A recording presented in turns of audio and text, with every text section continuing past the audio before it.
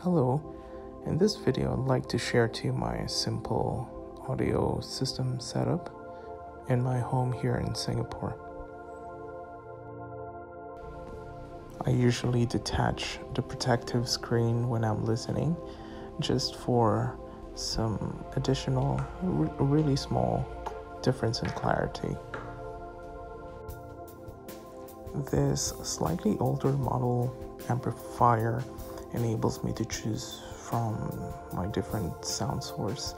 In this case, I'm using a beginner turntable, a fully automatic Audio Technica AT-LP60X.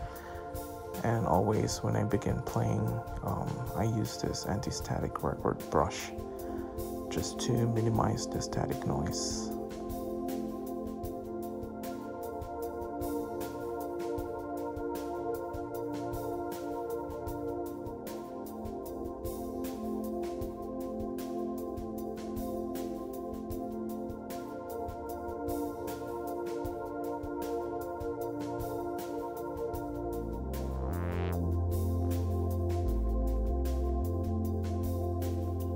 This device enables me to stream my Spotify music through this system.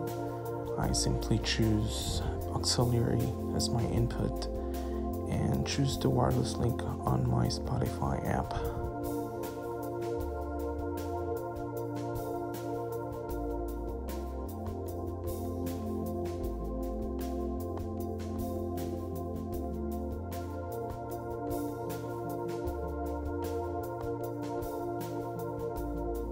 This is a CD player that's the same generation as my amplifier from Cambridge Audio. It gives a good, clear um, reading of my CDs, including SACDs, although this is not an SACD player.